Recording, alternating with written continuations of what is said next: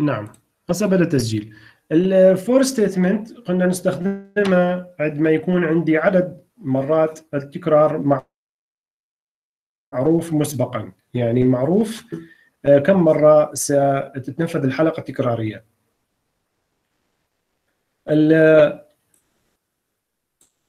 التركيب أو الصيغة البرمجية لجملة فور يتكون من الأجزاء التالية. أولا كلمة for تكتب بالسمول حصرا. بعدين أقواس دائرية. داخل الأقواس الدائرية هناك ثلاث أجزاء. هذه الثلاث أجزاء مفصولة بالفوارز المنقوطة. الجزء الأول نطلق عليه initialization وهو القيمة الابتدائية للعداد. والجزء الثاني هو ال condition اللي هو شرط الاستمرار. والجزء الثالث اللي هو ال update أو آه، زيادة أو نقصان العداد. زيادة أو نقصان العداد. ثم بعد ذلك begin و end وداخل ال begin وال end الكود أو أو ال block المراد تكراره. يعني هوني بين ال begin وال end قد يكون عندي ايعاز واحد أو أكثر. هذه الايعازات اللي سنقوم بتكرارها باستخدام جملة for مثال. طبعا هذه شرح عن قلنا ال initialization اللي هو القيمة الابتدائية للعداد هذا يتنفذ مرة واحدة في البداية وال condition في كل مرة يتم فحص الشرط حتى نستمر أو أو لا. وال update هذا يتنفذ أيضا كل مرة آه، لزيادة أو نقصان العداد. مثال حتى نفهم الأجزاء آه، اللي تتكون منها جملة for بالضبط. هذا المثال يستخدم لطباعة الأعداد من صفر إلى أربعة باستخدام ال for statement فمن منطوق السؤال؟ نحن قلنا من صفر إلى أربعة فإذا آه، معلوم آه، مرات التكرار مالتنا القيمة الابتدائية والقيمة النهائية اللي سنصلها. ف for statement داخل أقواس دائرية الجزء الأول قلنا متغير يجب أن يكون عندنا متغير أو عداد نعطينا قيمة ابتدائية. القيمة الابتدائية هنا أعطيناه الصفر. نلاحظ أنه أشكو قبل ال i أكو integer يعني هذه معناها هون في هذه في هذه المنطقة. عرفنا المتغير واعطينا له قيمة ابتدائية في نفس الوقت. يعني يمكن أن يكون تعريف المتغير i قبل ال for لكن إذا ما كانت معرفة من من الممكن نعرفها مباشرة داخل ال for كما في هذا المثال. for integer i equal 0 هذا الجزء الأول.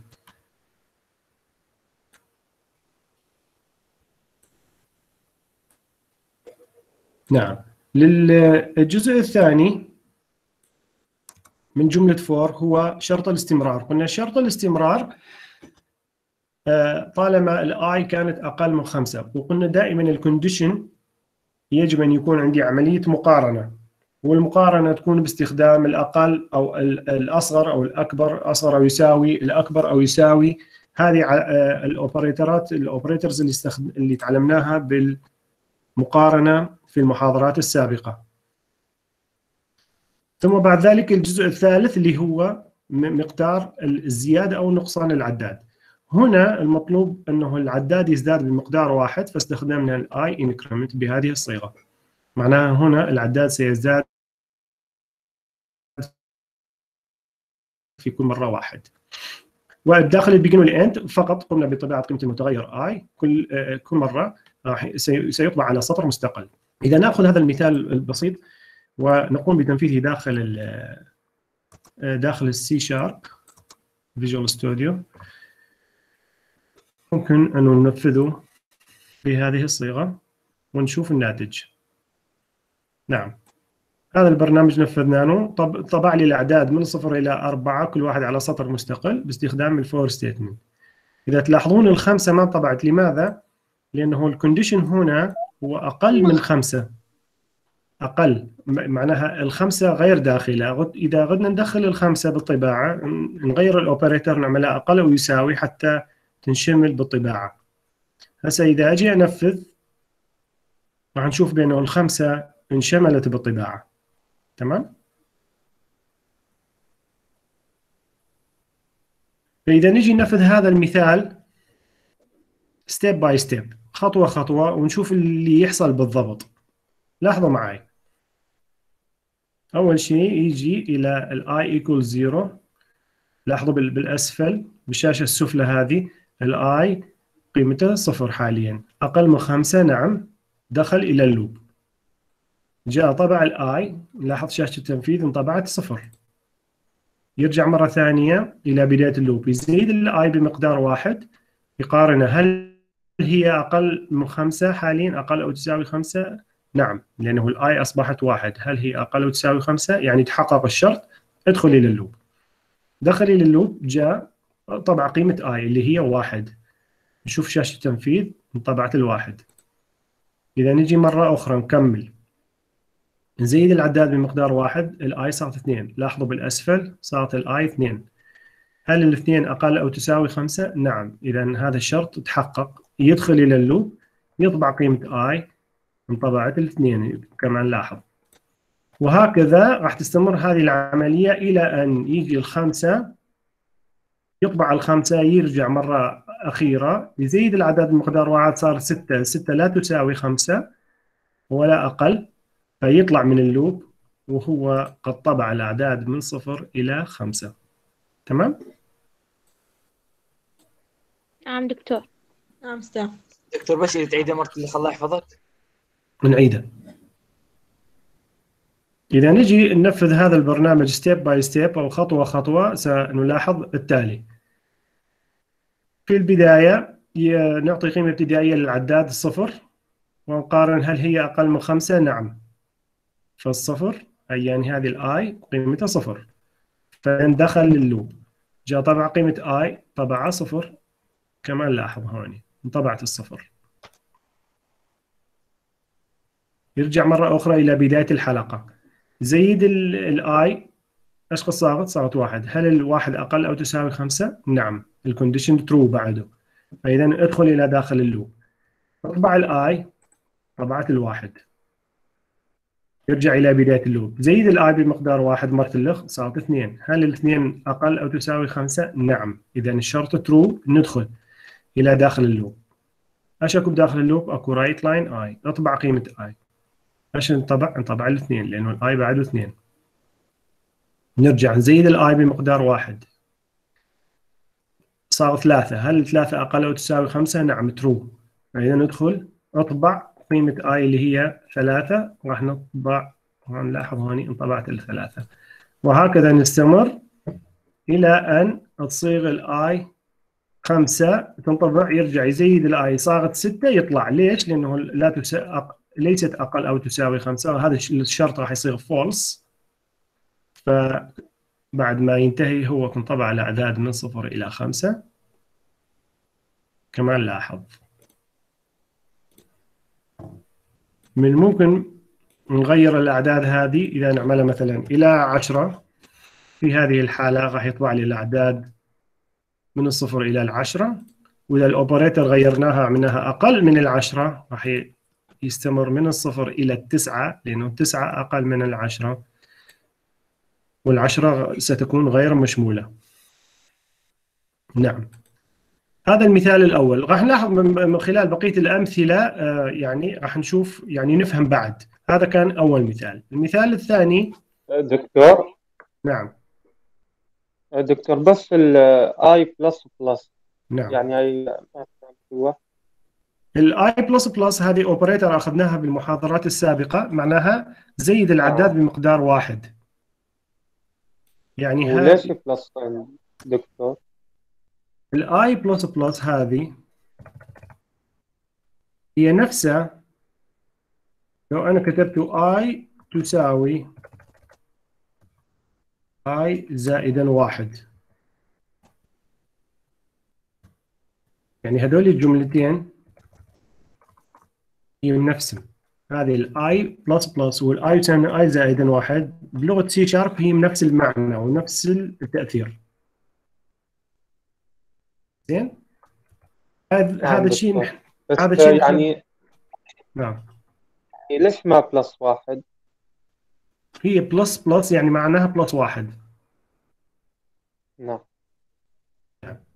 فهذا المثال الأول. نجي المثال الثاني. نحن هسه راح تتضح عندنا الصورة بعد بال- بالأمثلة ال- ال- الج- الجايه المثال الثاني راح نطبع بينه الأعداد الزوجية اللي بين الصفر والعشرة. إحنا نعرف بأنه إذا أول عدد كان صفر فمعناها العدد اللي بعده هو يزيد عنه باثنين. ويزيد عنه باثنين ويزيد عنه باثنين. ما تمام؟ هسه اذا نجي ننفذ هذا البرنامج. راح يطلع لي 0 2 4 6 8 10 اللي هي الأعداد الزوجية المحصورة بين الصفر والاثنين. لكن إيش استفدنا؟ استفدنا من إيه هذا الكونديشن آه من هذه الزيادة هنا؟ المقدار الزيادة للعداد خلينا إنه يزيد بمقدار اثنين. بدل ما يزيد بمقدار واحد خلينا يزيد بمقدار اثنين ليش؟ لأنه الأعداد الزوجية هي صفر واثنين وأربعة وستة وهكذا صح؟ هسه بسهولة جدا نغير هذا البرنامج ونعمله يطبع الأعداد الفردية المحصورة بين الواحد والعشرة وذلك من خلال إيه هذا القيمة الابتدائية للعداد بس إذا غيرناها عملناها اي تساوي إنه واحد فبهالحاله راح يكون الواحد وبعدين راح يزيدوا باثنين راح يصير ثلاثة وبعدين يزيدوا باثنين راح يصير خمسة وهكذا مثل ما نلاحظ بالمثال بالتنفيذ. لاحظوا؟ التنفيذ صار واحد ثلاثة خمسة سبعة تسعة. تمام؟ نعم أستاذ. زين. هذا كان مثال اثنين. مثال آخر. نريد نطبع الأعداد بشكل تنازلي من العشرة إلى الواحد. طبعا نحن قلنا بأنه ما شرط أنه دائما الحلقات التكرارية أو ال loops من الصغير إلى الكبير. أحيانا تكون من الكبير إلى الصغير يعني أو يعني تكون بشكل تنازلي أو تناقصي. مثال القيمة الابتدائية هنا للعداد أعطينا له 10 والشرط أيضا سيعكس في هذه الحالة طالما أكبر من صفر استمر و ال step size أو مقدار التغيير سيكون تناقصي بمقدار واحد i decrement. هاي معناها نقص ال i بمقدار واحد في كل مرة. إذا نجي ننفذ هذا المثال. ناخذه. واحد C sharp وننفذه حرفيا ونلاحظ الناتج. راح يطلع لي الأعداد من 10 إلى 1 10 9 8 وهكذا. تمام؟ نعم إذا نعم الصفر أستاذ. ينطبع أيضا. فبس أغير الأوبريتر هذه أعمل أكبر أو يساوي صفر. في هذه الحالة الصفر سيكون مشمول بالطباعة مثل ما نلاحظ 10 إلى صفر. تمام؟ نعم أستاذ. زين. نعم هذا مثال آخر. مثال آخر هو آه، لإيجاد وطباعة مجموع الأعداد الفردية المحصورة بين واحد وعشرة. إحنا قلنا قبل شوية كيفية آه، عمل العداد آه، يعد الأعداد الفردية. استخدمنا أنه للزوجية ممكن تغييره إلى الفردية وإذا أردنا أنه آه، يجمع فنصفر مجموع قبل ال loop. نعمل لنا مخزن نعطيه نعطيه قيمة صفر بالبداية. وفي كل مرة نقول sum تساوي sum زائدا قيمة العداد اللي هو ال i هذا ال loop راح يتكرر مع الأعداد الفردية. ليش؟ لأنه ال i كانت واحد وراح تزيد بمقدار اثنين في كل مرة. راح يس- ياخذ الواحد بعدين يجمع معها الثلاثة ويجمع معها الخمسة وهكذا إلى العشرة. إذا نأخذ هذا المثال وننفذه. داخل لغة سي شارب نلاحظ ما يلي. يطلع لي 25 لأنه واحد زائد ثلاثة زائد خمسة زائد سبعة زائد تسعة المجموع 25 نفس الكلام. إذا نعم. أستاذ بس عيدوا نعم. المطلوب هو إيجاد مجموع الأعداد الفردية المحصورة بين الواحد والعشرة زين. نحن خلينا نعمل لنا لوب من الواحد إلى الع- العشرة ويعد لي بس الأعداد الفردية مثل ما قبل شوية مثل ما بالمثال الأول. فالقيمة الابتدائية للعداد واحد الشرط هو i أقل من عشرة. مقدار الزيادة هو i plus equal 2 معناتها زيد العداد بمقدار 2 في كل مرة. بداخل ال loop راح نحتاج إلى آه، متغير أو مخزن دائما نجمع مع المخزن. المخزن بالبداية نعطيه قيمة صفر لأنه حتى حتى يعطيني مجموع بشكل صحيح. وكل مرة نجمع قيمة i اللي هي قيمة العداد مع ال sum القديم. ونخليه أيضا بالصم. في هذه الحالة بعد ما يكمل هذا اللوب هو كان جمع الواحد مع الثلاثة مع الخمسة مع السبعة مع التسعة وراح يطلع يطبع لي قيمة صم. آه، راح تمثل مجموع الأعداد الفردية المحصورة بين الواحد والعشرة اللي هي 25 إذا غدتوا الأعداد؟ الزوجية يعني الصم نعم. هذا نعم. هذا يعني الصم هو يمثل الأعداد الفردية. مجموع الأعداد الفردية. مجموع الأعداد الفردية. نعم. إذا أخذنا الأعداد الزوجية راح نبدي ال- العداد مالتنا اللي بالفور نبدينه من الصفر. حتى إيش ياخذ؟ ياخذ الصفر. بعدين مرة ثانية يزيده باثنين ياخذ الاثنين. يزيده باثنين ياخذ الأربعة. وهكذا. هسه إذا ننفذ راح يطلع عندنا مجموع مختلف. راح يطلع عندنا 20 ليش؟ لأنه صفر زائد اثنين زائد أربعة زائد ستة زائد ثمانية راح يكون 20 تمام؟ نعم أستاذ نعم هذا المثال الثالث أو الرابع نجي إلى موضوع مهم جدا متعلق بالفور اللي هو nested for أو ال loops المتداخلة يعني إيش هو المتداخلة؟ يعني من ممكن أن يكون loop داخل loop نعم يمكن يكون loop عندي خارجي بداخله loop آخر داخلي. الصيغة أو التركيب ستكون ستكون بالشكل التالي. for خارجية وتتكون من نفس الأجزاء اللي هي آه، قيمة ابتدائية وشرط استمرار وزيادة أو نقصان للعداد. begin و end بداخله هناك for statement أخرى أيضا تتكون من أجزاء من نفس الأجزاء اللي هي قيمة ابتدائية للعداد وشرط استمرار و update اللي هي زيادة أو نقصان للعداد. و begin و end وبداخل ال begin وال end هناك مجموعة إيعازات ومجموعة من الإيعازات ستتكرر داخل ال for statement الداخلية. وممكن أن يكون عندي جمل هنا بعد ال end لل for الداخلية أو قبل ال for. ممكن هون يكون عندي جمل قبل ال for أو أو بعد ال for. هذه ستتكرر آه، داخل الفور الخارجية. مع ملاحظة مهمة جدا وهي أنه وهنا سنستخدم عداد للفور الخارجية.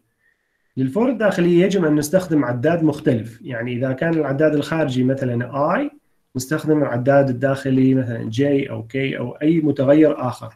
لا يمكن استخدام نفس المتغير نفس العداد لللوب الداخلي والخارجي. واضح؟ نعم نعم أستاذ مثال أستاذ. راح ناخذ. نعم. أستاذ يعني ال for الأولى راح ناخذ لها ال- العنوان مال العد مال ال integer راح يكون شكل والداخلية راح يكون ال integer نعرفه بعنوان ثاني. نعم يعني اسم آخر يعني متغير آخر. نعم شكرا دكتور. هلا بيك. هسه راح ناخذ آه، المثال الثاني بعدين نروح على المثال الأول لأنه المثال الثاني أسهل. آه، المطلوب كتابة برنامج بلغة C sharp يطبع لي هذا الشكل. هذا الشكل يتكون من آه، كم سطر؟ واحد اثنين ثلاثة أربعة أربعة أسطر في كل سطر هناك كم star؟ واحد. اثنين ثلاثة أربعة خمسة ستة سبعة ثمانية. ثمان مرات علامة الضرب علامة ال star. فإذا ال loop الخارجية من ممكن أن نعملها لعدد الأسطر اللي هي من واحد إلى الأربعة. أوكي هسه هذه انحلت. نيجي على ال loop الداخلي. ال loop الداخلي إيش نعمله؟ نعمله أنه يطبع أنه يطبع عدد ال stars الموجودة في السطر الواحد اللي هي من واحد إلى ثمانية. فإذا المسألة أصبحت سهلة. ال loop الخارجي نعمله من واحد إلى أربعة ال loop الداخلي نعمله من واحد إلى ثمانية ونطبع بال loop الداخلي ال star. زين. بعد ما يطبع ال stars بعد ما يطبع آخر star في السطر ال- الواحد بعد ما ينتهي يحتاج إيش نعمل؟ حتى ننزل إلى سطر جديد يحتاج إلى جملة أو إيعاز ينزلنا إلى سطر جديد. فإيش نستخدم؟ write. line write line فارغة حتى تنزلني إلى سطر جديد. فشكل البرنامج سيكون بالشكل التالي. آه نعرف ان متغير وليكن n نعطينه قيمة ابتدائية آه، أربعة آه، ستمثل قيمة آه، عدد الأسطر وال loop الخارجي سيكون من واحد إلى أربعة. من واحد إلى أقل أو يساوي أربعة يعني من واحد إلى أربعة مشمول. begin و end داخل ال begin وال end loop آخر وليكن j أيضا باستخدام for من واحد إلى ثمانية. إيش يعمل؟ يطبع ال star باستخدام ال write حتى يطبع على نفس السطر. بعد ما يخلص ال loop الداخلي هذا أستخدم write line بس حتى تنزل إلى سطر جديد. تمام؟ هسه إذا نيجي ناخذ هذا البرنامج وننفذه داخل ال Visual Studio نلاحظ ما يلي. نعم. تلاحظون بأنه نفذ أربع أسطر وكل سطر بداخله هناك ثمان stars من ممكن الان هذه أغيرها مثلا أعملها عشرة بالحالة راح يعمل لي عشر سطر وكل سطر بينو ثمانية stars تمام؟ نعم أستاذ فهذا كان المثال الأول. أخ- أخذنا أول شيء ال- يعني بال slides ال example 2 قبل ال example 1 هسه نروح على example 1 لأنه شوية أصعب. ال- المطلوب كتابة برنامج بلغة C sharp لطباعة الأرقام التالية. الأرقام راح تتكون نمط معين يعني السطر الأول الأعداد من واحد إلى عشرة بالتسلسل 10 أعداد. بعدين السطر الثاني الأعداد الاثنين أربعة ستة وعشر مرات إلى العشرين. السطر الثالث هو آه، الأعداد ثلاثة ستة إلى ثلاثين أيضا عشر أعداد. نعم. يعني باختصار كأنه نحن بدنا نطبع جدول الضرب إلى جدول الثلاثة هذا جدول الواحد وهذا جدول الاثنين وهذا جدول الثلاثة ومثل ما تعرفون بأنه جدول الضرب هو عبارة عن حاصل ضرب يعني كأنه سطر في عمود. ما تمام؟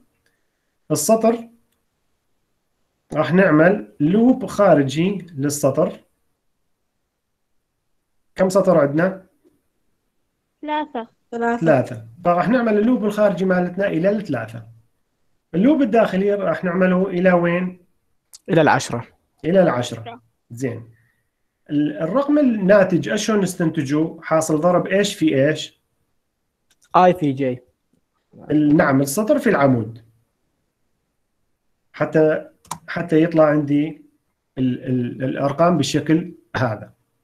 فإذا نعرف أنه متغير وليكن n نعطينه قيمة ثلاثة لأنه ثلاثة اسطور عندنا. ال loop الخارجي سيكون من واحد إلى n اللي هي عدد الأسطر begin و end هذه ال end ال loop الداخلي سيكون من واحد إلى عشرة لأنه عندنا عشر أعداد بكل سطر. وأيش نعمل؟ في كل مرة حاصل ضرب السطر في العمود اللي هي ال i في j بعد ما يخلص ال loop الداخلي هذا بس write line حتى ننزل ال cursor أو المؤشر إلى سطر جديد. إذا نيجي ناخذ هذا البرنامج وننفذه حرفيا سنلاحظ ما يلي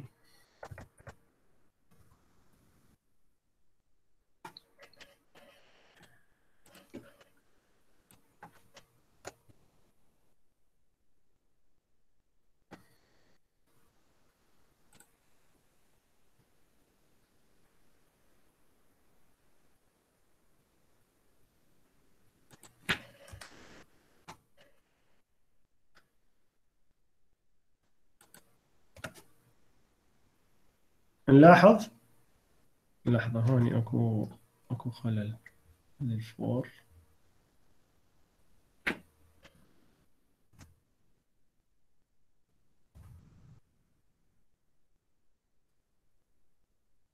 هذا الفور الخارجية.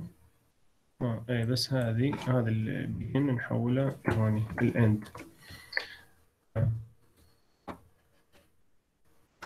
في هذه الحالة سنطبع الأعداد كما ما هو مطلوب. السطر الأول من واحد إلى العشرة بالتسلسل بعدين السطر الثاني من اثنين إلى العشرين بزيادة مقدار زيادة بمقدار اثنين بعدين ثلاثة ستة تسعة وهكذا. تمام؟ نعم أستاذ. نعم. هسه نجي إلى مثال آخر. مثال هذا بينه فكرة. بالسطر الأول هناك star واحدة. مطلوب أيضا كتابة برنامج بلغة C sharp لطباعة الشكل التالي. بالسطر الأول هناك star بالسطر الثاني اثنين star بالسطر الثالث ثلاثة بالرابع أربعة بالخامس خمسة. فإذا نريد نستنتج علاقة بين رقم السطر وعدد ال stars في كل سطر شلون؟ اللوب الخارجي هو من خمسة على نضرب الخمسة في واحد في اثنين. لا نحن عندنا عندنا ال loop الخارجي سيكون من واحد إلى خمسة هذا لعدد الأسطر هذه هذه انحلت إيش يظل عندنا؟ يظل عندنا عدد ال stars في كل سطر فإذا قلنا ال loop الداخلي مثلا j يبدي من واحد إلى إلى وين يقف؟ إلى قيمة السطر. نفسه لا إلى قيمة السطر ليش؟ إذا السطر كان واحد راح يعد من واحد إلى الواحد. إذا السطر كان اثنين راح يعد من الواحد إلى الاثنين. فيطبع مرتين. إذا السطر كان ثلاثة راح يعد من الواحد إلى الثلاثة. فإذا راح نستفاد من آه، قيمة السطر في آه، استنتاج عملي آه، عدد النجوم أو عدد الستارز في كل سطر. يعني راح نيجي ناخذ هذا البرنامج. وننفذه داخل لغة سي شارب هذه الصيغة.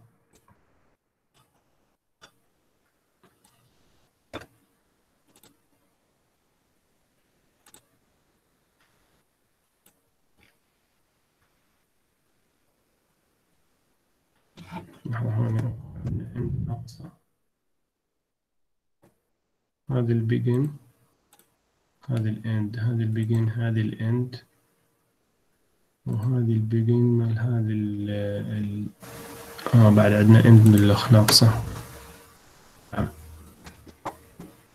الشكل سيكون بالشكل التالي star اثنين ثلاثة أربعة خمسة إيش عملنا؟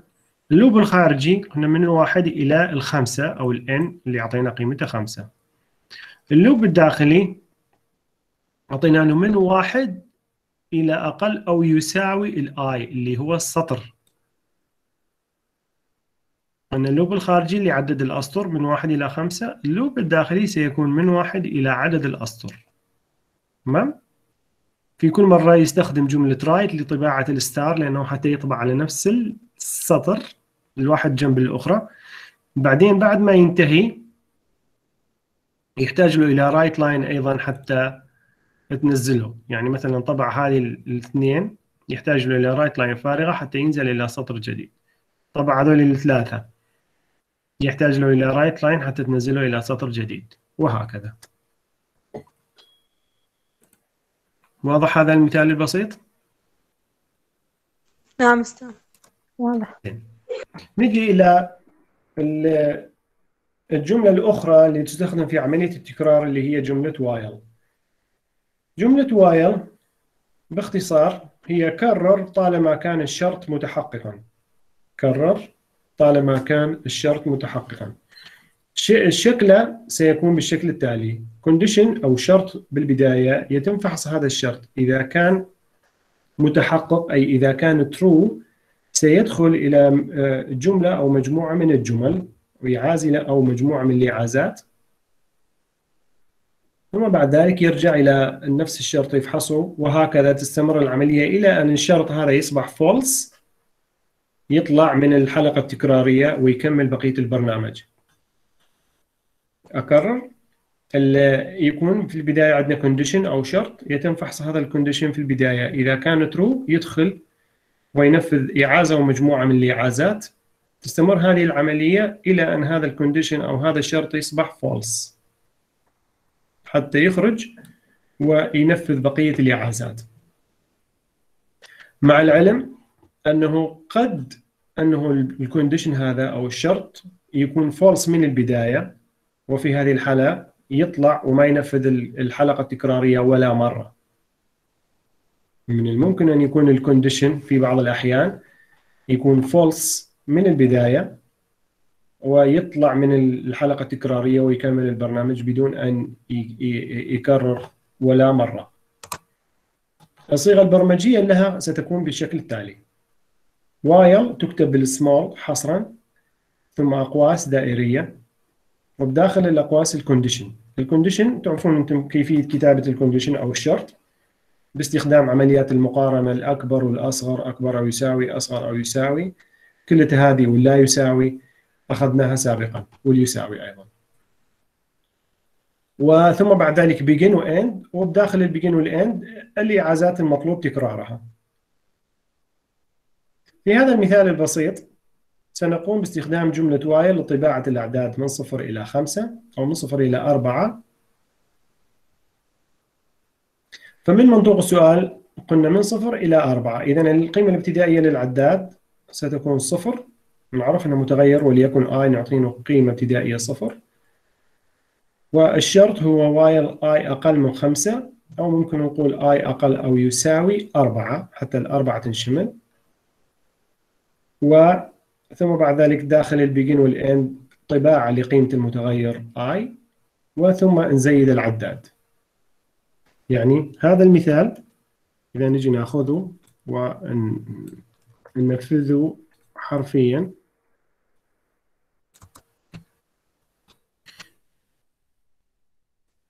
بالشكل التالي راح يطبع لي الأعداد من صفر إلى أربعة.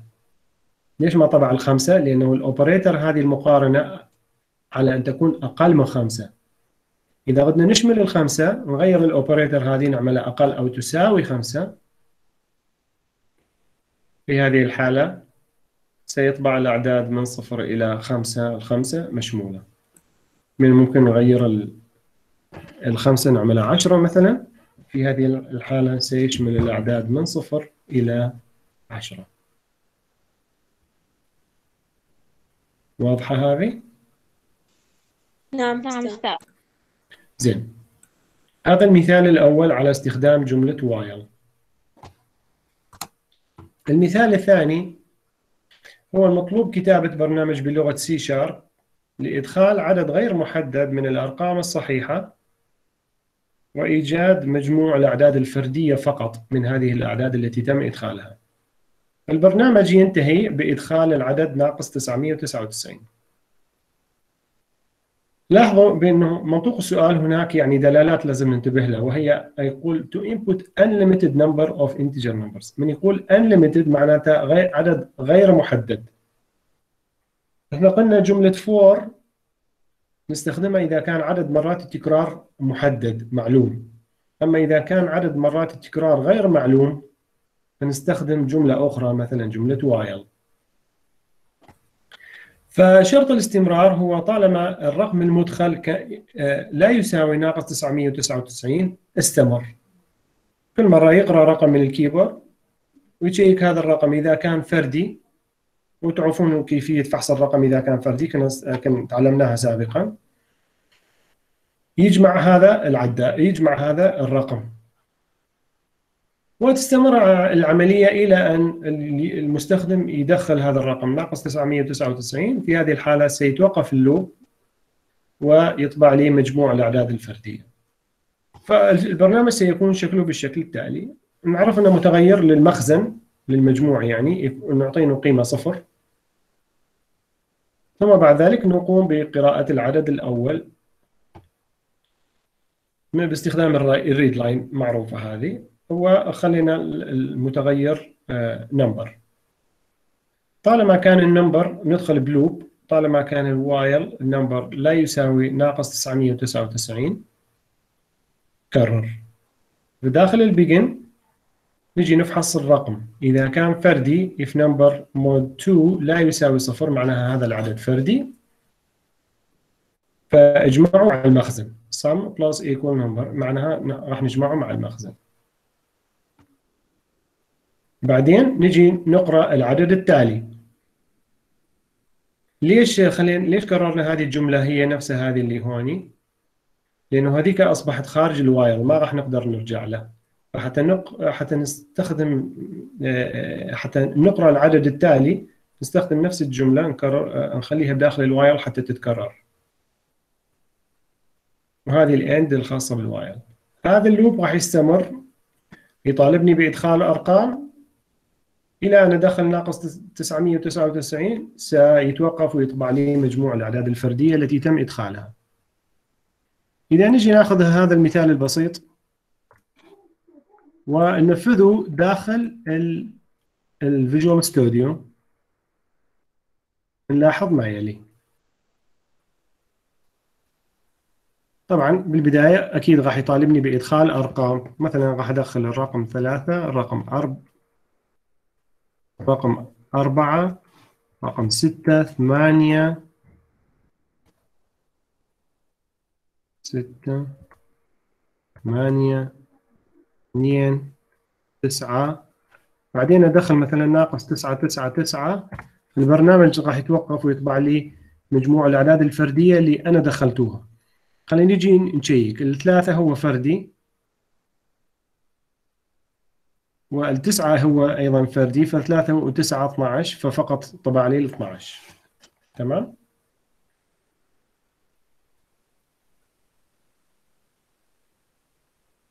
العدد غير محدد من الأعداد والمطلوب آه، إيجاد مجموع الأعداد الفردية التي تم إدخالها مجموعها. فاستخدمنا جملة وايل نعم هذا المثال الثاني على على ال while نجي ناخذ مثال آخر. هو لطباعة الأعداد فقط من العشرة من العشرة إلى 19 باستخدام ال while ناخذ من منطوق السؤال. هو يقول من العشرة إلى 19 فإذا القيمة الابتدائية للعداد نعطيها 10 طالما ما وصلنا ال 19 نقول أي أقل أو تساوي أقل من 20 فاطبع وزيد العداد. في كل مرة يطبع ويزيد العداد إلى أن يصل ال 20 أو 19 بالحقيقة. فنيجي ناخذ هذا المثال البسيط. وننفذه داخل ال Visual Studio ونلاحظ الناتج. من 10 إلى 19 لو ردنا ال 20 يكون مشمول بس ال operator هذه نغيرها نعملها أقل أو تساوي 20 نلاحظ بأنه في هذه الحالة راح يطبع لي الأعداد من 10 إلى 20 داخل. واضح المثال؟ نعم أستاذ. زين. هذا كان ما يخص جملة وايل اللي هي آه، تستخدم في عملية التكرار المشروط. نسميه conditional repetition أو conditional loop. آه، نجي على جملة ثالثة مثل ما قلنا في أول slide آه، اللي هي جملة do while. ال do while هي نوع مختلف من ال while ال while loop لكن الفرق اللي بها إنه يكون فيها فحص الشرط هي أيضا تكرار مشروط لكن فحص الشرط يكون في نهاية الحلقة التكرارية بدل أن يكون في البداية. تذكرون كان جملة while فحص ال condition بالبداية يكون. أما جملة do while أول شيء تنفذ ثم بعد ذلك تفحص الشرط. يعني شكلها سيكون بالشكل التالي. الإيعازات المطلوب تكرارها أو ال block من ال statements المطلوب تكرارها أولا تتنفذ ثم بعد ذلك يكون فحص الشرط. إذا كان الشرط true ارجع كمل. ارجع كرر. إذا كان الشرط false أطلع من ال loop وكمل البرنامج. برمجيا كيف نعبر عنه؟ do ثم begin ده بين ال begin وال end الإيعازات المطلوب تكرارها. ثم بعد ال end مباشرة نكتب while بال small حصرا ثم أقواس دائرية و semicolon فارزة منقوطة. داخل الأقواس الدائرية نخلي الشرط اللي. يستخدم لاستمرار ال loop. أكرره؟ do ثم begin و end بين ال begin وال end الإيعازات المطلوب تكرارها. بعد ال end نكتب ال while بال small ثم أقواس دائرية ونكتب داخل الأقواس الدائرية الشرط الذي سيستخدم للتكرار. وفارزة منقوطة المثال التالي سنستخدمه للدو وايل هذا هذه الجملة هي كرر أيضا طالما كان الشرط متحققا. لكن هناك فرق رئيسي عن جملة وايل مثل ما قلنا بأنه الفرق أنه الفحص الشرط يكون في نهاية الحلقة التكرارية. في هذه الحالة يعني إذا كان الشرط false من أول مرة سينفذ مرة واحدة على الأقل. سينفذ مرة واحدة. لماذا؟ لأنه يكون هو تنفيذ ثم فحص الشرط. أما بالنسبة للوايل إذا كان الشرط من البداية فولس فما راح ينفذ ولا مرة. فما راح ينفذ ولا مرة. فخلينا نجي نأخذ هذا المثال أيضا اللي اللي يعمل نفس المفعول المثال السابق اللي هو طباعة الأعداد من صفر إلى أربعة. وننفذه بالسي شارب. أيضا وضعنا قيمة يعني عرفنا المتغير. سميناه i أعطيناه قيمة ابتدائية صفر في البداية. وعملنا do while. داخل ال do بين ال begin وال end طبعنا قيمة المتغير i ثم زيدنا قيمة المتغير i بمقدار واحد حتى ياخذ العدد اللي بعده واللي بعده واللي بعده آه الشرط اللي خلينا بال while هو طالما ال i أقل من خمسة. هسه إذا نجي ننفذ هذا المثال راح يطبع لي الأعداد من صفر إلى أربعة. وما شمل الخمسة. أيضا إذا قلت أشمل الخمسة أغير هذه العملية الأوبريتر. أعملها أقل أو تساوي خمسة. في هذه الحالة راح يشمل الخمسة مثل ما نلاحظ واضح؟ يعني دكتور العفو إذا خلينا مثلا من العشرة إلى 19 مثلا أو إلى العشرين نعم. يطبع لي من الواحد إلى 19 من العشرة إلى 19 يطبع نعم هسه إذا غير نقول له من العشرة إلى 19 مثل ما قلت راح يطبع لي من العشرة إلى 19 مثل ما نلاحظ تمام؟ نعم دكتور شكرا. زين. إذا أكو نقطة مهمة جدا وهي أنه يجب أن ننتبه إلى العداد المستخدم. يجب أنه نحن نقوم بزيادته أو نقصانه داخل ال loop. ما ننسى الزيادة أو النقصان. بال for statement كان نحن من نكتب ال for مباشرة الجزء الثالث مالته هو الزيادة أو النقصان للعداد. أما بال while وال do while لازم نحن نكتبه داخل ال loop بين ال begin وال end. يعني هذه الجملة إذا أنا نسيتوها في هذه الحالة ما الذي سيحصل؟ خلينا نمسح هذه الجملة فرضا أنا نسيت هذه ال i increment إيش راح يحصل؟ لاحظوا راح يدخل ب loop غير منتهي وما راح يتوقف البرنامج نهائيا بس راح يطبع العشرة وهذا هو يظل يطبع العشرة وما راح يتغير لأنه قيمة i ما أكو شيء يزيده فبهالحالة الشرط راح يظل متحقق وراح يظل ال loop يتنفذ بشكل غير منتهي. تمام؟ أما إذا كان هوني زيدت له ال i بمقدار واحد فال loop راح يجينه لحظة يتوقف بها لأنه راح يجي لحظة أنه هذا ال condition أو هذا الشرط سيصبح, سيصبح false سيصبح خاطئ ويطلع من اللوب. ما تمام؟ فهذه أريد تنتبهوا له اللي هي عملية زيادة أو نقصان العداد.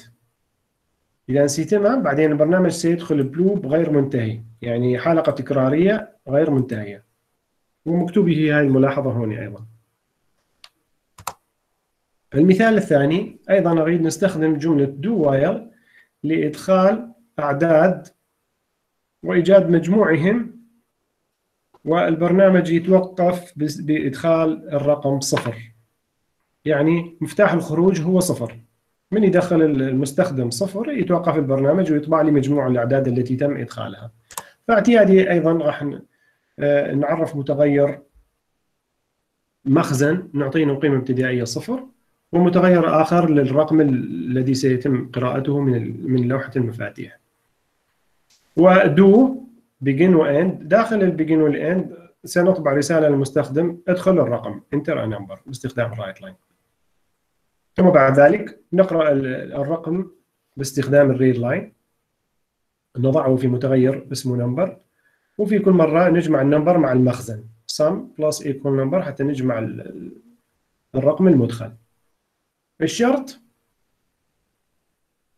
هو طالما ال- الرقم المدخل لا يساوي صفر استمر. المستخدم من راح يدخل الرقم صفر؟ سيتوقف البرنامج ويطبع لي مجموع الأعداد ال- التي تم إدخالها. إذا نجي ننفذ هذا المثال البسيط. ال Visual Studio.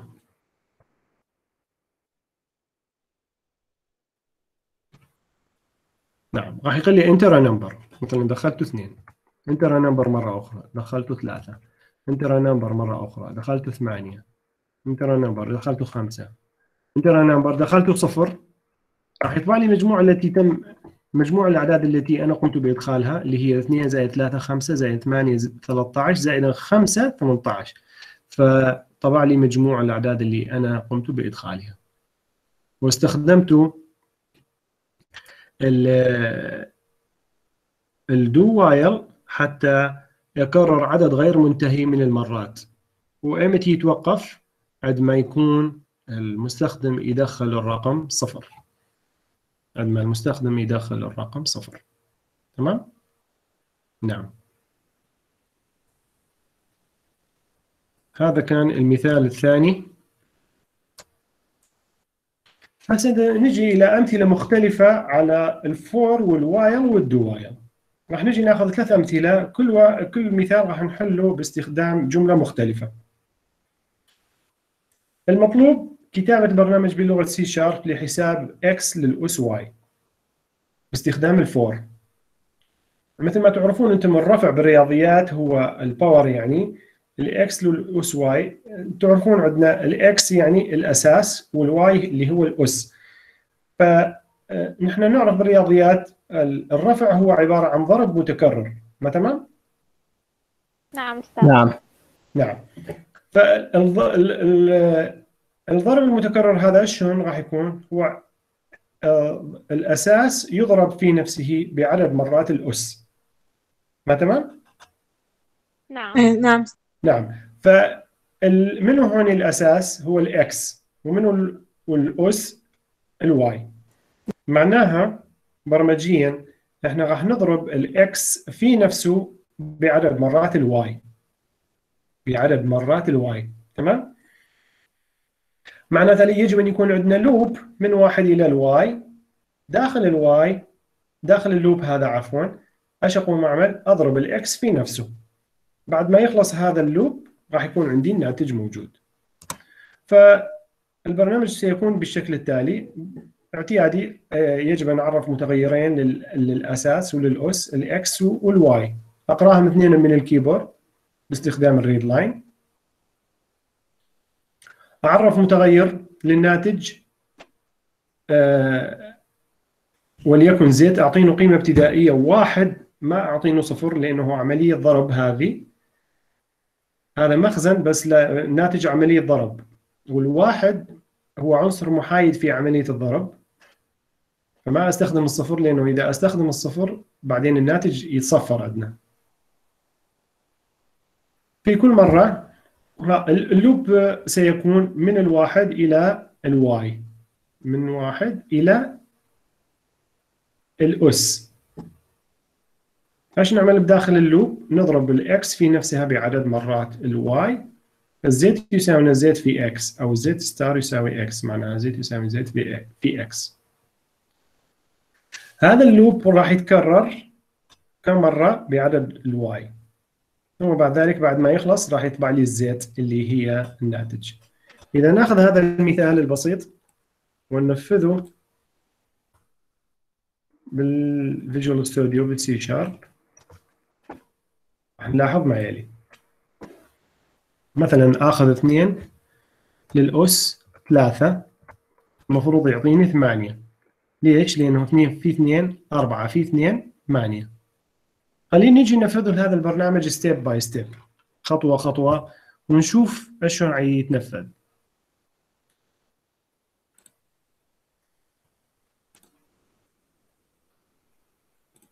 خلينا نجي ناخذ هذا البرنامج وننفذه step by step حتى نشوف شلون تتم عملية احتساب ال power أو احتساب الأس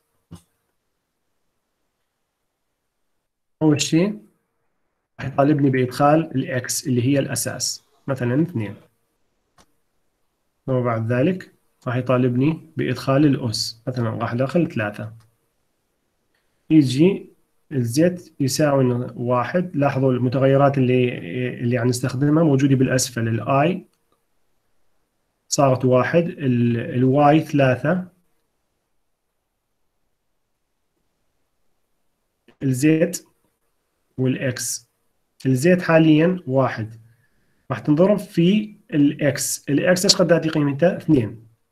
صارت إيش قد تعطي قيمة z اثنين. تمام؟ نرجع مرة أخرى. زيد ال i بمقدار واحد. صارت اثنين. هل الاثنين أقل أو تساوي ال y اللي هي ثلاثة؟ نعم. ادخل اضرب ال x اللي هي اثنين في ال z اللي هي اثنين أيضا. فال z الجديدة أصبح قيمتها أربعة. ارجع. زيد ال i بمقدار ثلاثة. بمقدار واحد عفوا صارت ثلاثة. هل ثلاثة أقل أو تساوي ثلاثة؟ نعم. ادخل. تعال آه ال ال ال الزيت القديمة اضربها مرتلخ في الإكس. الزيت حاليا هي أربعة والإكس هي اثنين اضربها في اثنين يعني صارت أربعة في اثنين ثمانية. ارجع زيد العداد. راح يطلع بهالحالة ويطبع لي قيمة الزيت الزيت الحالية إيش قداتي؟ ثمانية اللي هي تمثل اثنين للأس ثلاثة واضحة هذه طلاب؟ نعم أستاذ نعم أستاذ فإذا استخدمنا جملة for هون في هذا المثال لحساب آه، الرفع في الرياضيات اللي هو ال power أو ال x to the power y المثال الثاني المطلوب استخدام جملة while لإيجاد معدل سبع درجات إيش معناها؟ معناها يجب أن يكون عندي loop باستخدام ال while وهذا ال loop يعد من الواحد للسبعة كل مرة يطالبني بإدخال درجة جديدة حتى يجمعها بعد ما يخلص اللوب يأخذ المجموع يقسمه على سبعة حتى يطلع لي المعدل تمام؟ فاعتيادي راح نحتاج آه، متغير آه، للمجموع آه، أو المخزن. نعطينا قيمة ابتدائية صفر. وراح نحتاج متغير للدرجة التي سيتم إدخالها ومتغير آخر للعداد. نعطينا قيمة ابتدائية واحد.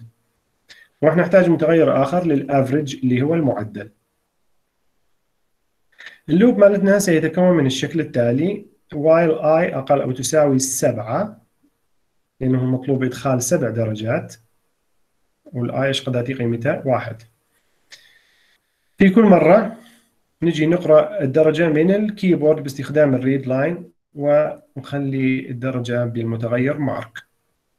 نجمع الدرجة مع ال sum sum plus يساوي mark حتى نجمعها مع المخزن المجموع يعني. نزيد عدد الدرجات باستخدام ال i increment راح تستمر هذه العملية أو الحلقة التكرارية سبع مرات حتى يطالبني بإدخال سبع درجات. يجمع مجموع داخل ال sum. يجي يطلع بعد ذلك المجموع موجود بال sum. يقسمه على سبعة ويخلي الناتج بالمتغير average. وتلاحظون بأنه المتغير average عرفنا أنه من نوع double لماذا؟ حتى آه، لأنه آه، المعدل غالبا يكون بينه كسور. ونطبع الناتج باستخدام ال write line. أيضا راح نجي نأخذ هذا المثال وننفذه بالسي شارب ونشوف إيش راح يصير عندنا. راح أجي أدخل درجات عشوائية مثلا 88 99 87 67 56 49 95 طلع لي المعدل 77.285 فهذا البرنامج استخدمنا به جملة وايل حتى آه، نوجد معدل سبع درجات. نوجد معدل سبع درجات. واضح المثال طلاب؟ نعم أستاذ. نجي إلى المثال الأخير. آه، المطلوب استخدام جملة do while لإدخال آه، 100 آه، قيمة عشوائية من الكيبورد positive integers 100 قيمة صحيحة موجبة من الكيبورد وإيجاد أكبر آه، قيمة بينهم. فإذا المطلوب استخدام ال do while ففي هذه الحالة راح أيضا سيكون لدينا عداد من واحد إلى المئة راح نعتبر بأنه أكبر عدد لدينا هو ناقص واحد لأنه الأعداد صحيحة موجبة فحتى يتبدل من البداية. ومتغير آخر لل number للرقم الذي سيتم إدخاله في كل مرة من الكيبورد. ندخل بداخل loop باستخدام ال do while ال num في هذه الحالة راح نقرأ متغير نقرأ قيمته من الكيبورد باستخدام ال read line ونخلي الرقم في ال num. طبعا نزيد العداد. إذا كان ال number أكبر من ال max نحن قلنا ال max دائما سنحتفظ في آه، راح نحتفظ بأكبر قيمة بال max. فإذا كان الرقم المدخل هو أكبر من ال max ال max سيأخذ ذلك الرقم الجديد. شرط الاستمرار هو طالما i أقل أو تساوي 100 لأنه المطلوب إدخال 100 آه، قيمة أو 100 عدد. هذه العملية ستتكرر 100 مرة بعد ما ندخل 100 عدد. بالأخير آه، ال max سيحتفظ بأعلى قيمة بين القيم التي تم إدخالها. ونطبعه باستخدام ال write line أيضا نأخذ هذا المثال البسيط وننفذه.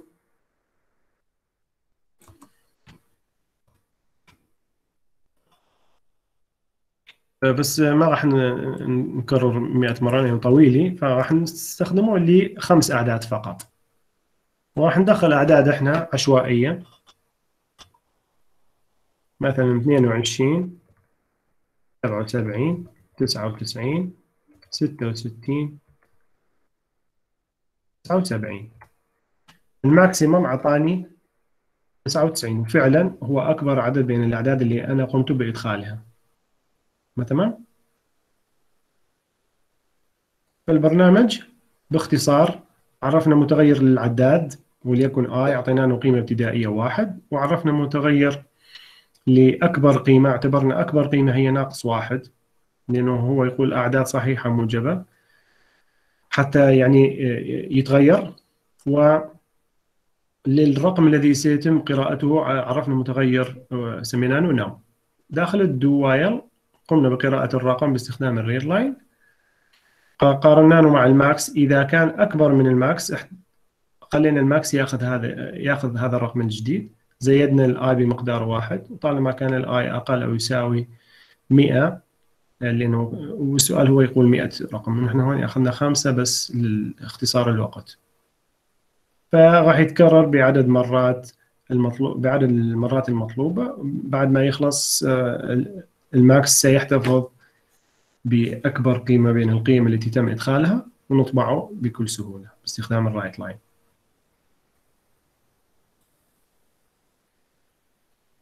أكو سؤال إلى هذا الحد يا طلاب. لا بس هون ليش ليش كتبت سالب واحد؟ إيه خوش سؤال. ال- نلاحظ من منطوق السؤال يقول بين قوسين positive integers يعني أرقام صحيحة موجبة. فنحن ما نعرف آه، منو أكبر أكبر واحد بيناتهم. فنحن نفرض بأنه أكبر قيمة هي آه، قيمة سالبة بالبداية. القيمة يعني خلي نخلي قيمة ابتدائية لل للماكس. يجب انه نعطينه قيمة ابتدائية. حتى من يجي إلى أول مرة number if number أكبر من ال max طبعا أكيد راح يكون أي عدد صحيح موجب هو أكبر من الناقص واحد فراح يحتفظ راح يتغير يعني. ال max سيأخذ الرقم الجديد. زين. يعني إذا نرجع هسه على البرنامج وننفذه step by step ننفذه خطوة خطوة. ال max ناقص واحد وال num نحن راح نجي ندخله. دخلنا مثلا 88 لاحظوا ال max حاليا إيش قد يأتي قيمته؟ ناقص واحد. نيجي راح يقارن النم اللي هو 88 هل هو أكبر من الناقص واحد؟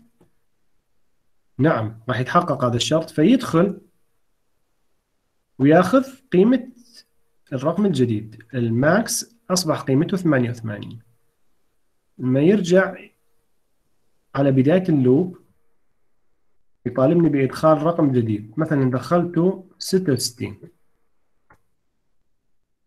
نيجي إلى المقارنة هسه.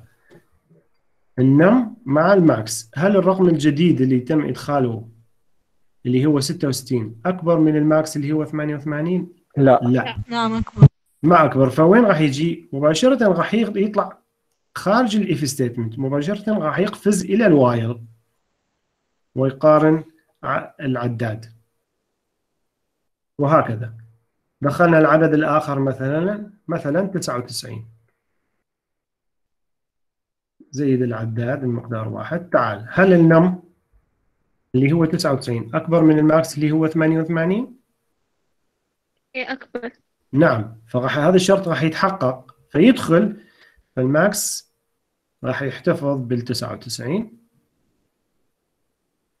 وهكذا. زين؟ واضح يا طلاب؟ نعم أستاذ. زين. فهسه نحن محاضرتنا اليوم انتهت. المطلوب من عندكم آه، تشوفون الفيديو تقرون المحاضرة بشكل آه، جيد. آه، تنفذون البرامج اللي موجودة بها كل واحد ينفذها على موبايله أو على حاسبته. وأكو مجموعة من ال homeworks موجودة في نهاية المحاضرة المحاضرة أيضا.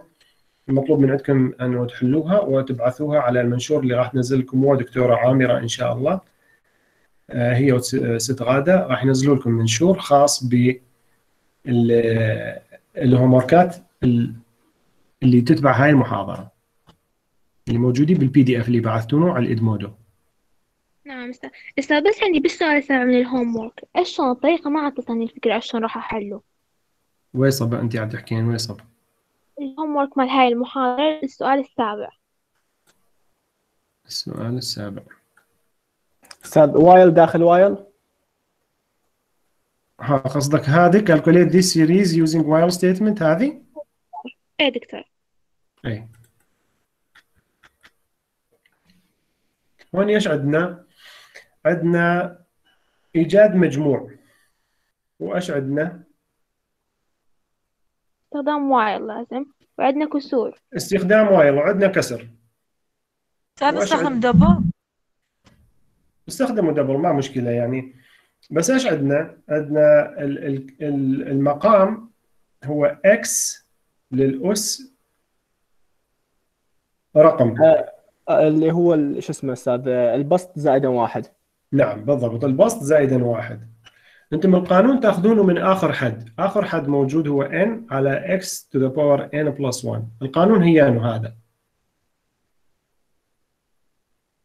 وقبل شوية تعلمنا كيفية إيجاد ال power راح تستخدمون ال power حتى توجدون هذا ال... الم... هذه المتسلسلة. أستاذ أنت قايل using while أستاذ بس فقط ال while ما نقدر نستخدم ال for داخل ال while يصير تستخدمون for داخل while يصير. okay. إيه. وبالنسبة لل- الأول ال homework الأول أستاذ عدد ال- الأرقام الفردية والزوجيه اللي دخلناها فقط. إيه نعم المطلوب إدخال 100 رقم عشوائي random يعني عشوائي وحساب عدد الأعداد الفردية والزوجية. باستخدام ال for نعم دكتور مفهوم. نعم. فإن شاء الله راح دكتور عامر وست آه، غادة راح يعمل لكم منشور ينزلونه على ال Edmodo حتى تبعثون ال homework الخاص بهذه المحاضرة على آه، ذلك المنشور إن شاء الله. أكو سؤال آه، طلاب لو انتهينا؟ تسمح لي؟ نعم تفضل. أستاذ ممكن تنزل لنا أستاذ ال- الحال مال الواجبات مال المحاضرة الثالثة والرابعة أستاذ وين المحاضرة من نكمل يعني؟ بس منو عيحكي أول شيء؟ أستاذ مثنى مثنى شوي علي صوتك. أستاذ ممكن تنزل لنا الحال مال المحاضرة مال الواجب مال المحاضرة الثالثة والرابعة وال- والآية الخامسة أستاذ؟ يعني مرة ما الثالثة والرابعة والخامسة؟ إي والله أستاذ. إن شاء الله. أستاذ هو نقصد إنه المحاضرات السابقة. اللي نزلنا بها واجبات. كلها نريد إنه تنزل لنا بها الحلول الصحيحة. حتى نقارن إحنا حلولنا إيه هو صح إيه هو غلط. واللي عندنا بيه غلط. رح نعرف منه الغلط ونتعلم إنه ما هو حكمية- أنا ع- هو أنا على انتظر أول شيء يعني تسلمون أول شيء الواجبات حتى لا بعدين أكو قسم من الطلاب ياخذ الهوم ورك وياخذ الحلول الصحيحة ويسلمها. لازم آه، آه، لازم دكتور عامرة تقفل ال- المنشور مع استلام الواجبات حتى أشنو؟ حتى إذا أنا أنزل آه، يكون ما حد يست... يعني ما حد يأخذ الحلول ويبعثها. مشكور دكتور. هلا بيكي دكتور الحضور إيه- يعني عاد تأخذوا الحضور؟ أنا بعثت لكم منشور آه، على الادمودو اسمه استمارة حضور المحاضرة السادسة. تدخلون هسه كل كلتكم وتدخلون معلوماتكم لأنه راح أحذفه لهذا المنشور. شفتموه؟ نعم دكتور. إيه. وكل من مرة وحدة يدخل ال- الحضور مالته ما أكثر من مرة. زين؟ تمام أستاذ. هذا هو ما ظل عندكم أسئلة؟ دكتور بس بخصوص هاي باستمارة الحضور يسأل عن إيه. اسم دكتور المادة. إحنا يعني صار عندنا خلاف بيها. ناس تقول دكتور طرفة ياسين ناس تقول دكتور طرفة حميد. فإيش الصح ظرف ياسين. شكرا أستاذ. هلا بيكي صادق عندك سؤال؟ لا أستاذ تمام. على مود الحضور سجله ثاني حضور. okay ممتاز. هذا إذا ما عندكم شيء حتى ننهي المحاضرة. لا أستاذ مشكور. يلا شكرا جزيلا. والسلام عليكم. سلام